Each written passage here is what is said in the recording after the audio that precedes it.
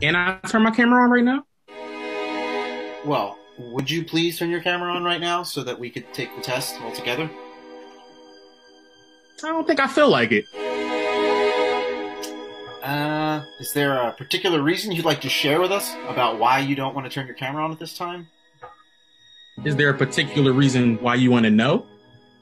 Well, yeah, I'd like to get through this class today. You're making it a little difficult. What you gonna do if we don't get through this class?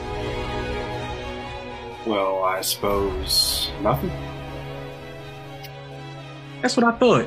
Excuse me, Trey, just turn your camera on, please. Um, excuse me, how about I don't? I don't understand why you won't just do it. Why are you being difficult today? You never had this problem before. Well, we got this problem now.